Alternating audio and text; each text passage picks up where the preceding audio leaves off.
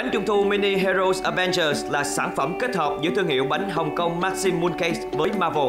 Thay vì những hình ảnh truyền thống thường thấy trong dịp Tết Trung thu như là hàng Nga, mặt trăng hay cá chép, thì hộp bánh Trung thu này được thiết kế hiện đại với hình ảnh 7 siêu anh hùng của bộ phim The Avengers được in 3D trên nắp hộp. Năm gọn trong hộp bánh màu đen mạnh mẽ cá tính nhưng không kém phần sang trọng là bốn chiếc bánh trung thu trứng chảy được nhập trực tiếp từ Hồng Kông.